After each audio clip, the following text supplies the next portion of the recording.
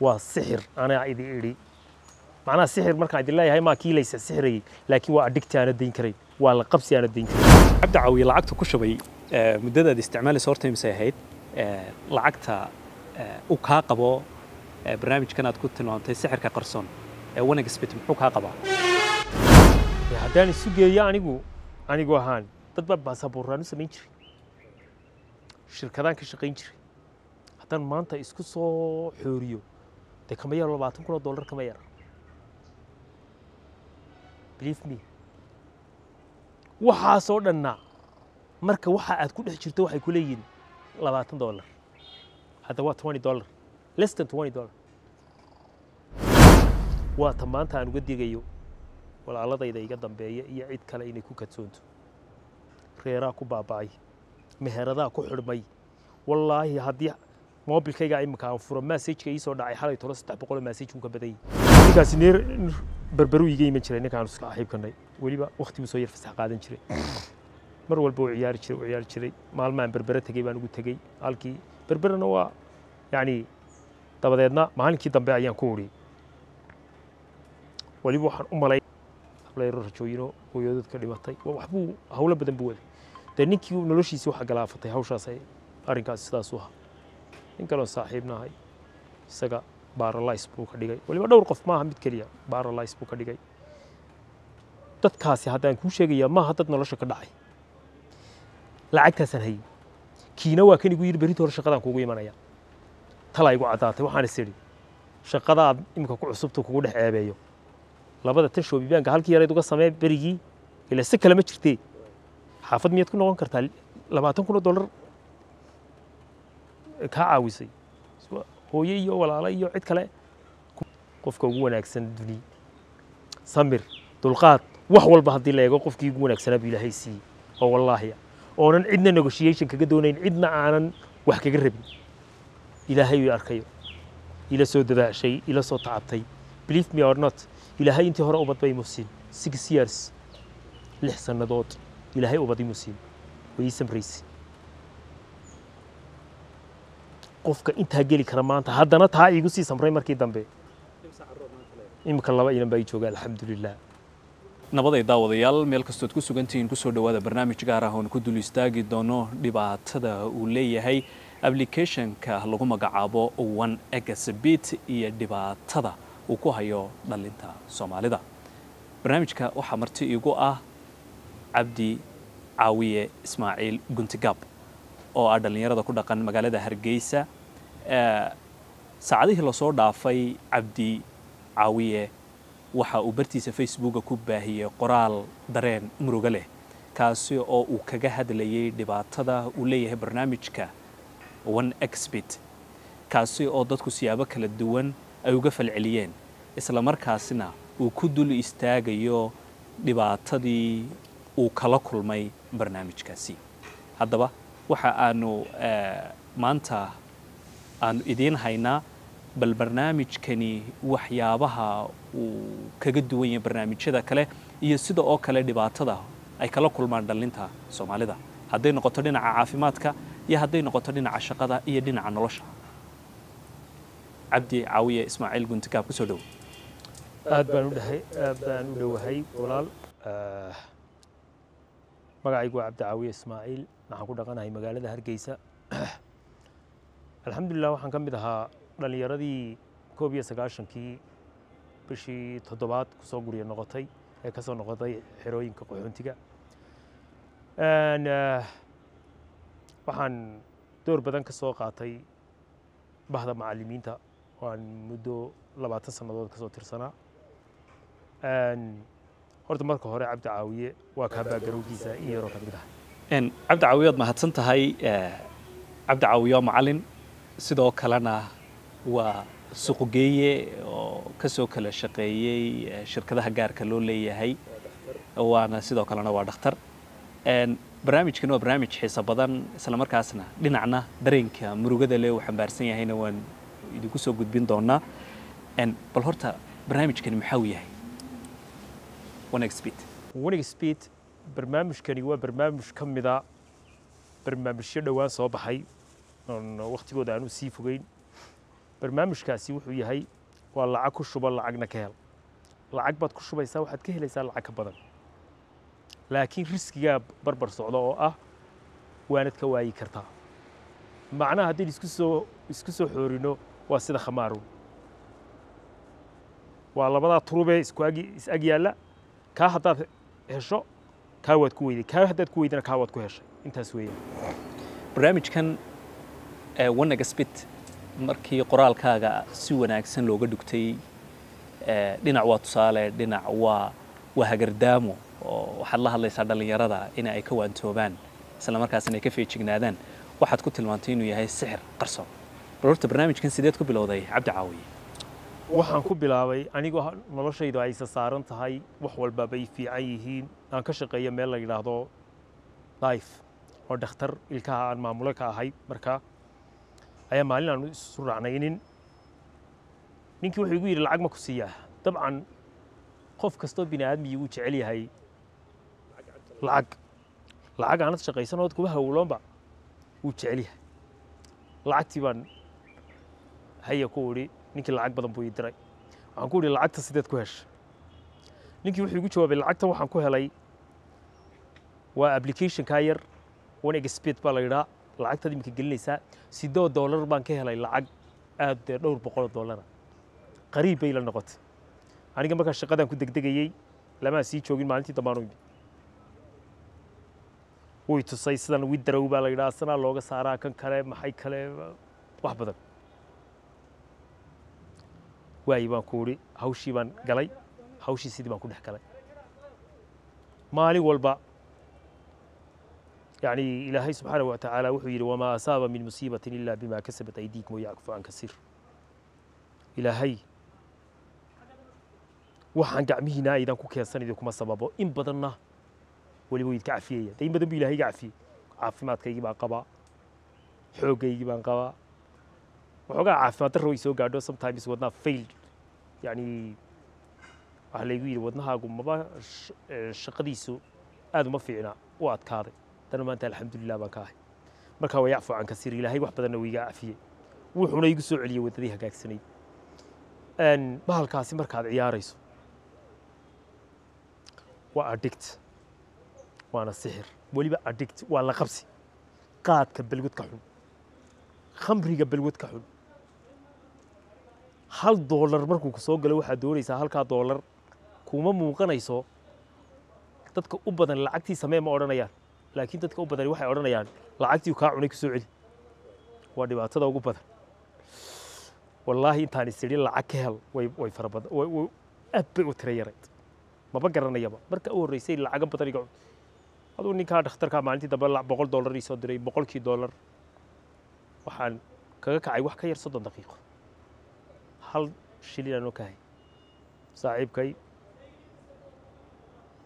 ninkaa dictoorka oo la yidhahdo dictor saciid ninka daif iska lahaaya iminkana dhakhtarka dictor saciid baaba la yidhahda dhakhtarkiisa iminka oo aad u wanaagsan oo nin wanaagsan oo goba ahaa waxyaabaha lacagi siiyey maalintii dambe. Lacagta sida sidii laakiin. Waxaani waxa weeye waa wax ku jiidanaya. Shaygaad hesho waxaad odhanaysaa iminka ku hel lacag kale. Intaan qoraalka soo qoray iminka xalay toole anigaaba dhakhtar noqdayba believe me or not wallaahi qof kastaaba wuxuu leeyahay saaxiib seed uga baxa. Iminkaan ku dhex jira bal ka warran ninka isagiyo walaalkii dhul ay wada lahaayeen uu soo iibiyey. Ee uu yidhi walaalkaabaad u geyni walaalkii gobolka lu ka shaqeeya waa u imanayaa baa la yidhi. Siddeed iyo toban cisho ayuu kaga baxay siddeed iyo afartan kun oo dollar. Maaha siddeed afar kun iyo siddeed boqol waa siddeed iyo afartan kun oo dollar dhaqaale xumada waddankeennii soo wajahday kuwuu ka yahay. Qaadku waa meel soke. Shan iyo toban dollar buu ninka ugu badani ku qayili. Dadna hadhow isaga kici. Laakiin kan kun dollar baa habeen walba laga tegaya anugu kama yarayn karo boqol kun oo dollar. Way baa halka baxa. Cabdi caawiye lacagta ku shubay muddadaad isticmaalaysa horta imisay ahayd lacagta uu kaa qabo barnaamijkan aad ku tilmaamtay sixirka qarsoon ee wanagsbit muxuu kaa qabaa? Haddaan isu geeyo anigu anigu ahaan dad baa baasabuuraan samayn jiray shirkadaan ka shaqayn jiray haddaan maanta isku soo xooriyo dee kama yaro labaatan kun oo dollar kama yara believe me waxaasoo dhanna marka waxa aad ku dhex jirto waxay ku leeyihiin labaatan dollar hadda waa twenty dollar less than twenty dollar. Waa ta maanta aan uga digayo walaaladayda iga dambeeya iyo cid kale inay ku kadsoonto reeraa ku baaba'ay.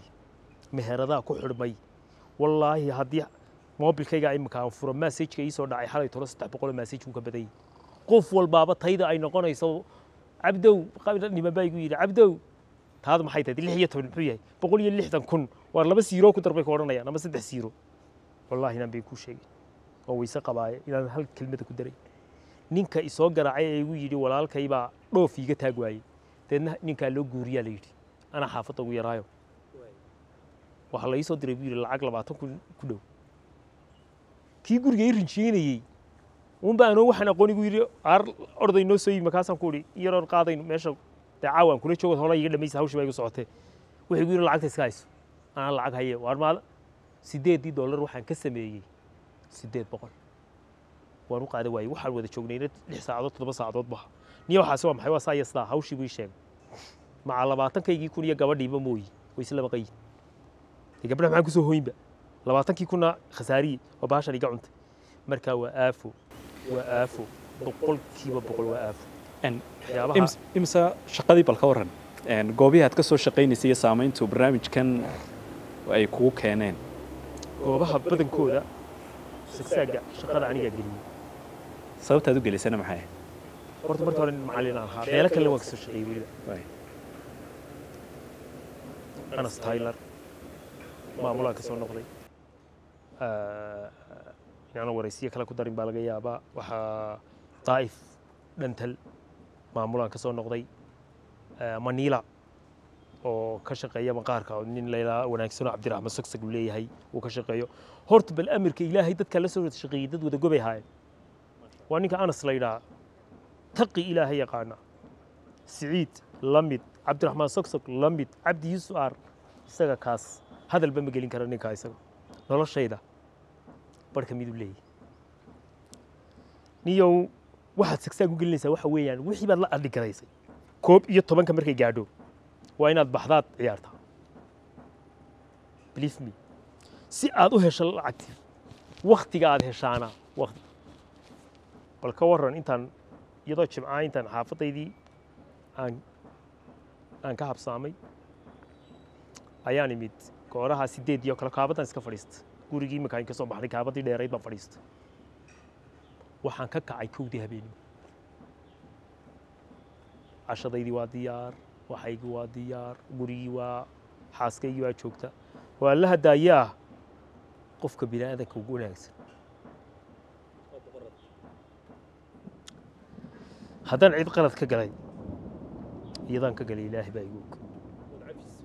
Cafis maahee kun jeer. How it be possible? Bal siday ku dhici kartaa adiga oo mushaharkaagii lagu soo siiyey oo biil lagaa sugayo. Biilkii waxaasi ay kaa jiiteen. Deedna iyadu biilkii ay bixisay. Cidna ayna u sheegin. Waa laga yaabaa mina inay cadhooto waayo karka dheriga karka marka dambe kulaylka ka keena markay kuu dulqaadatay kuu dulqaadatay waxay soconaysaa qofkiin maba soo hagaagaya malaniyo maybe laakiin intuu qof bini aadmi wanaagsan yahay. Waa qofkii wanaagsanaa gabadh kaloo soomaaliyeed. Gabadh kale oo soomaaliyeed oo intaa dul qaadan kari lahayd. Maanta waxaan ku dhaaranayaa inay midhiya inay farkutirsiiyeen gabadha og inaad bushaarkii soo qaatay haddana halka aad lambartay inaad waxbo keliya dhinaca farxadda waxaad tidhi qoraalkaaga aad ku xustay inay farxaddii qoysnimadaada iyo wadajirkiinnii u bahalkani qaatay. Bal bal maxaad nooga xusi kartaa? Waxaad mar walba maskaxdaada ku jira. Ood ka fikiraysaa lacagtii uu kaa khasaariyey. Yacni muurkaaga oo halkaad ka farxi lahayd muurkaaga wuxuu ku maqnaanayaa ninbaa dhaawacii ku soo gaadhay. ninbaa waxaa la yidhi soo hadlay? Maqaal dheer buu soo qoray mukhtaar baa la idhaa shiinaa la idhaa waa dhallinyaradii ka shaqayn jirtay kolley waynaad garanaysaa male titanic studio la odhan jiray. Wuxuu igu yidhi saaxib.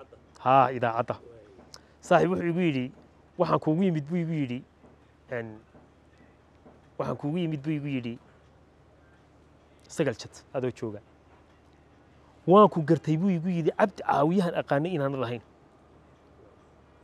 Isbeddelka kaa muuqda ninkaagan yaraaday ninkaagii xoogga ahaa yacni farxaddii yacni xitaa yacni tension badan ba maan siinin markii baan dib u socday dib markii baan dib u xasuustay marka hawlahaygu bahasha way badan yihiin aad iyo aad ta caafimaadkaanoo habeen iska ciyaaraya culays baan dareemay wadnaha culays aad u badan naqaska gurigaan iska tegay aroortii maxaa xasan baan u tegey wuxuu igu yidhi waa dhakhtarkan gargaaray wuxuu igu yidhi bahalkan uu sameeyo garaaca wadnuu sameeyo waa laba waa laba dhawaaq midna lub baa la yidhaha midna dhub. Waa lub iyo dhub. Waa midna markuu dhiigga tuuraya midna ku qaadanayo. Wuxuu igu yidhi dhiig tuuriddiisa wadnahaaga wuxuu dareemayaa adayg u adkaaday. Marka inuu dhiigga markuu tuurayo culays xoog buu u baahanaya taasaad dareemaysaa inaad naqasku ku hayo oo kale. Waayi baan ku ori dawadaa qaado maxaa fikirka yare? Ma fikir baad yaraynaysaa? Malaayiin lacagaad doonaysaa inaad samayso? Dadkii lahaad u celiso. Next time dhakhtarkii waan ka tegey waxaan tegey maniila hawshaa baasaaboorradaan bilaabay. Afar kun oo dollar lacag ku dhow buu qof afar kun iyo shan boqol malaa ayuu qof ii diray. Anigoo iska nafisa markaa iska habiyaan sirniyow waxaani isla markay lacag soo gasho ayay xaraaradaasi ku qabanaysaa. Xaraaradii qaadku wey soo hebel uu dayn waaye maad maqal. Haddaba tanna uu dayn waaye. Qofku marka dambeed ashahaadato eed sagaal boqol oo jaranjarood ka soo dhacdo markaas bay dadka badankoodu dee weliba ninka ragi wuu ka waantooda. Dhibaatadayda faamligayga qoyskayga yacni waxaas oo dhan waxaan uga warramayaa faactabiruu yaa ulil albaab. War ku cibro qaata kuwa iminka wadow. Khuruuj baan baxay. Nin baan la soo hadlay nin reer berberahay oon saaxiib ahay qurujka iyo waayihii uu kula soo maray bal waxaad iyada dul istaagtaa caawiye markaad lacagihii dadka aad ka qaaday ee aad applicationkan wanagasbed ku shubtay. Bal maxaad dareemaysaa adigu? Qofka inuu lacagtiisii kaa doonayo ilan adeeg buu kaa doonaya ina inaad u qabato amba baasaboor inaad u samayso amba waxyaabo kaloo lacagta kaga qaaday haye maxaad qofku wuu kaa doonayaa. Laakiin adiga waxaa kuu cad haddaad toban dollar hayso tobankaa dollar inaad ka samayn karto. Boqol kun ama toban kun oo dollar ama labaatan kun oo dollar wax walba waxaa kuwaaga dhigayaa slow motion buu ku gelinayaa. Very easy. Alla ma waxaan haa. Konton baad berito hore hebel ka soo qaadano. Gebigooda intaad u samaysaad iminkaad u celinaysaa wax walba wuxuu ku odhanayaa un isla haddaad u celinaysaa waa dhibaatooyinku leeyahay. Wax walba inuu kuu geliyo. Yani halka ugu hooseysa uu kuu Een, dhakhtarkii aad u tagtay eh, wadnahaaga uu sheegay in uu rabadh uu adkaaday معنا سيد ربنا كلا ونقضي مدي سي برنامج كم صوت سيوة تعذر ما يا مرك الله عجان دحي تهجنا وين بدوين بتكون حشرت بدوين بكون حشرت ما تهجنا كريم مكان بدوين تاس أو جلافنا يسون الله شاد أو جلافنا يسون شق هذا. أو توا أنا يعني ترى قب ستان وقف. وهلك كقول لك كلارك. قلت الحمد لله مركز مركز هروق قف توصل تهاي. بلشة دنا سمعات كل حلا هاي. قف مع علينا هايت qofna kuguma dhiiranaya wax kastood isku qabsataan inuu inaad si xun uu kuula dhaqmo. Taasi waa waxyaabaha alxamdulilah ilaahay aan ku mahadnaqo waana shaqooyinka macalinimadu waxay ka mid ahayd shaqooyinka aanad meel kale u baxayn macallinku mixwar unbuu ku wareega waa iskuulka masaajidka guriga. Bulsho iyo balaayo wax ciyaaraysa iyo mushkilad waana dhibaatadaasina gacantaydaas waya- eh, maxaa go- wamaa asaba min musiibata ilaa bimaa kasabat aydiikum wayacfu cala kasiirta ilaahay uu yidhi gacmiinaad ku kasbataan waxaa kow ka ah saaxiibada saaxiib soo jabay oo soo hoogay oo waxaana isla soo daadaynin baa maalin kuu imanaya wuxuu ku odhanayaa iminkaad kun dollar samaynaysaa maalintaad bahashaa gacanta ku qabato weli ma hayo qof igu yidhi intaan aayar gacanta ku qabtay baan iskaga baxay haddana wallaahi buna jir ilaa mid walba wuxuu ku odhanayaa saddex kun lix kun soddon kun afartan kun siddeetan kun meherado dhan baa la waay fooqyo dhan baa intay iibiyeen maca nootaayadii ay dhigeen halkaa ka baxe rag baa isdeldelay rag baa dhibaato badan qoraalkaaga waxaa ku jiray dadaad asxaab ahaydeen oo uu barnaamijkan wanagasbidu noloshoodii galaaftay oo qaar maanta aanay dunidaba ku noolayn oy xaggii loo badnaa ay tegeen bal iyaga maxaad ka xusi kartaan noloshooda? Ninkaasi neer berberu iga iman jiray ninkaan isla xiibkanay weliba waqtiguu soo yar fasax qaadan jiray. Mar walba uu ciyaari jiray uu ciyaari jiray. Maalmaan berbere tegey baan ugu tegey halkii berberena waa yacni dabadeedna maalinkii dambe ayaan ku uriyey weliba waxaan u malaynayaa inuu qolooyinka maraakiibta raaca uu ahaa marmarkaa markabuu soo xidho oo kale u iman jiray. Deegaan ahaan malaha maybi berberiyada waxyaaba ku hareeray deegaamada ku hareeraysan adugu dee qofkaas aad aad yani dhibli umaan sii gelin noloshiisa ayaa nin baan garaacay maalintii dambe anigoo meel laylaa xarshin jooga ayaan garaacay waxaan ku dhawaad hebel mee wuxuu gu yidhi hebel wuu hebel wuu dhintay waxaana sababay isla kiiskaasa sabab lacago xaafadooda keligood baa u shaqayn jiray siduu iiga sheekayn jiray habla yaroo weliba rajooyina. Yani nin wuxuu ahaa xaafadan qudwow ah. Habla yaroo rajooyino hooyadood ka dhimatay. Waxbuu hawlo badan buu waday. Dee ninkii noloshiisii waxa galaafatay hawshaas arrinkaasi sidaasuu ahaa. Nin kaloon saaxiibnahay isaga baralys buu ka dhigay. Weliba dhowr qof maaha mid keliya. Baralys buu ka dhigay. Dadkaasi haddaan kuu sheegayaa maaha dad nolosha ka dhacay. Dadkaan kuu sheegayaa may ahayn qof nolosha. Hal qof oo nolosha ka dhacay kuma jiro dhammaantood waxay ahayn dad wada bride wada educated. Maanta waa laga yaabaa macalin cabdi caawiye maxaa hawshaa geliyey inay qaar isweydiiyaan laakiin hawshu intaa maaha mar haddaad ku dhacdood gacantaa ku qabato waxaagii soo ceshu baa kugu jiraysa isdifaacun baa kugu jiraya. Adoo xanaaqsan baad gelaysaa. Adoo iyada ninkii lahaa maad aragtid bay lahay haddaad doonto ka soo cesho waxaagii. Ay lacag gaadhaysaa labaatan kun oo dollar oo dad leeyihiin iyo mid aad adigu leedahay way kaaga baxday. Lacagaha ayaa kaa bixiyey cabdi. Qofka ugu horreeya anu mahad qayaa waa walaalkii. Nin la idhaha jimcaale caawiye.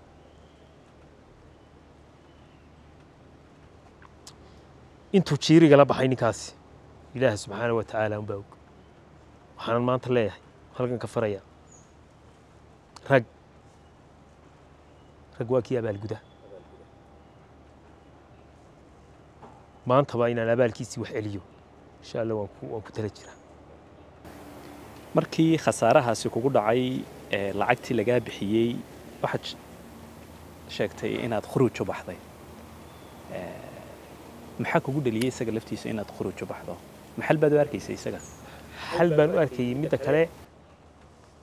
Markaad hawlo badan ku soo dhacdo waxaad doonaysaa inay maskaxdan waxni ka baxaan khuruujkii sidii baan ku baxay saasaana ku tegey khuruujka inteed baxday khuruujka afarta afartan waana soo dhamaystay way khuruujka adiga oo baxay dabadeed baad haddana dib ugu noqotay barnaamijkii adigoo isla qaboobay laakiin waxay tahaa sax bal yaa markan kale haddana kugu dheliyey waxa igu dhaliyey isla qof dadkii hore ka mid ahaa lix iyo tobanka weliba qof uu lacago harsanayd ayaynu is aragnay anoo sagal jad ka shaqeeya qofkii wuxuu weydiiyey in badan baan islaacayn intaasoo dhan ku maqlayn khuruuj waa maxay maxay wuxuu igu yidhi walaal hawl culus baa ay haysata lacagtaana waa layga doonaya weliba taa iyo tuka badan lacagtaydii inaan berri toole helaa waa kama dambays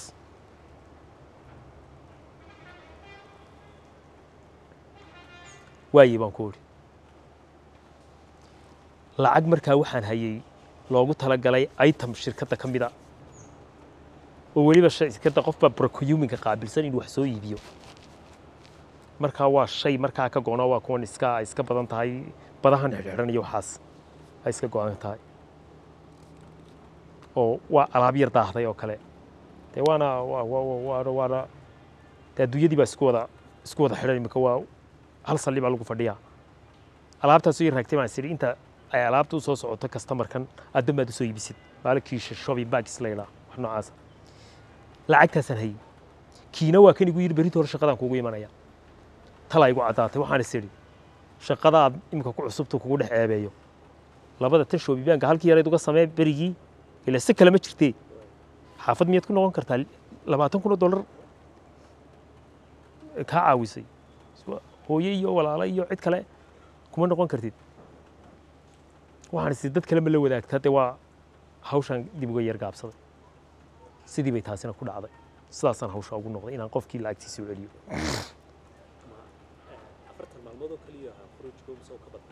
afartan buu ahaa laakiin afar bilood baan doonayay laakiin afartan buu ahaa anigoo ka soo noqday khuruujka ayaan u imi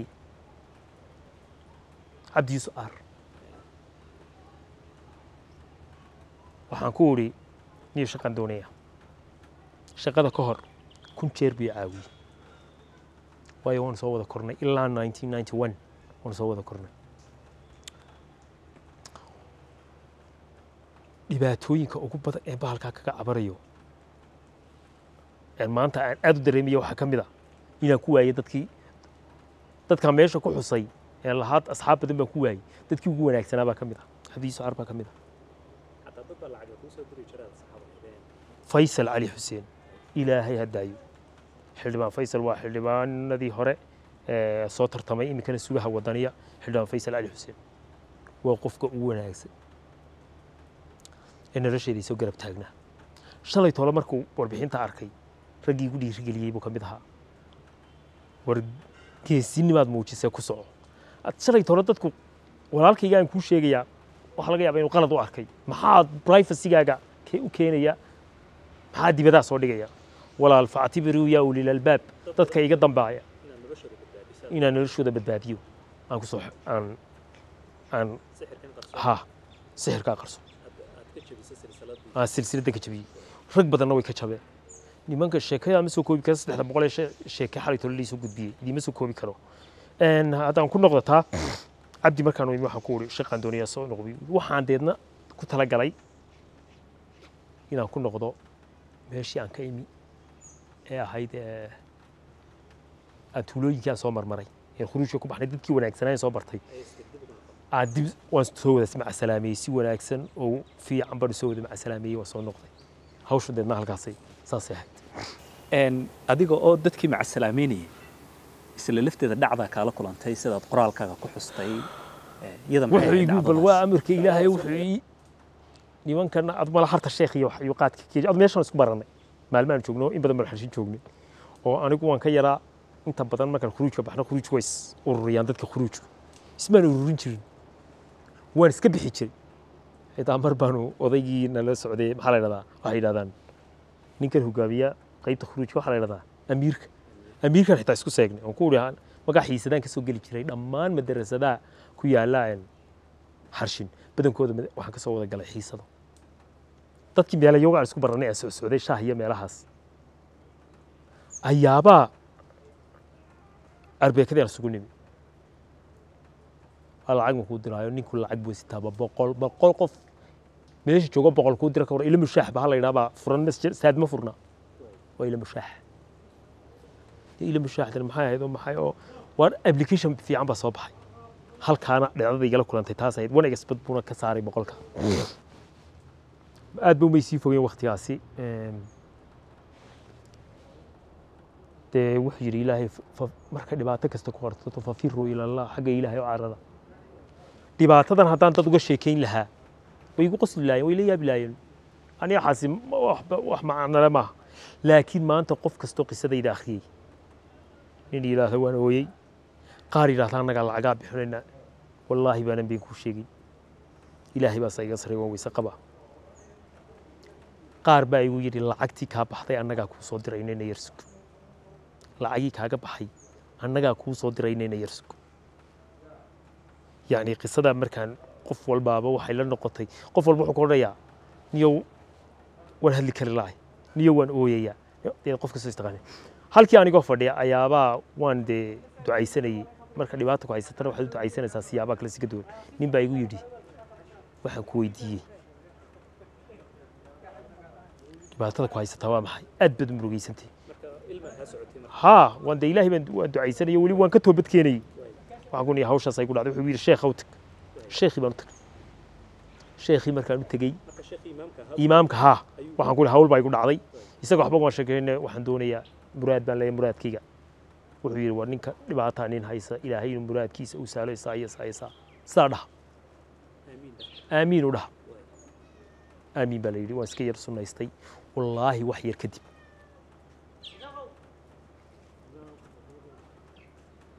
wax yar kadib waxaan dareemay inay silsilada iga jabeen sidii maalintiina alxamdulilah dib uguma noqon ilaahayna waan uga toobad keenay weliba kaan uga toobad keenaya waa kaan khasnadiisu dhammaan marnaba barnaamijkan qof kastoo isticmaala maxay iska bedelo cabdi caawi waxa iska bedela hamiyi qami kale maba yeelanaysidba waa addict qaadka hebel wuu dayn waayey samaad maqli jirin qaadkuu ka xunyi kani dhaqaalaheennii waddankuu ku dhammaaday dhallinyaradeennii way ku dhammaatay. Hantideennii ma guurtada ahayd iyo tug guurtaba intubay ku dhammaadeen bahalkan laakiin waa waxyaabaha aan loo soo jeedin. Taa iigu problemka iigu badnayd qoyskayga. Siiba xaaskayga. Qofka ugu wanaagsan duni. Samir dulqaad. Wax walba haddii la eego qofkii ugu wanaagsanaa buu ilaahay siiyey. Oo wallaahi. Ah oonan cidna negotiation kaga doonayn cidna aanan wax kaga rabin. Ilaahay uu arkayo. Ila soo dadaashay ila soo tacabtay. Believe me or not ilaahay intii hore ubad bay six years lix sannadood ilaahay ubad imu siin way ii samrayse qofka intaa geli kara maanta haddana taa iigu sii samray markii dambe.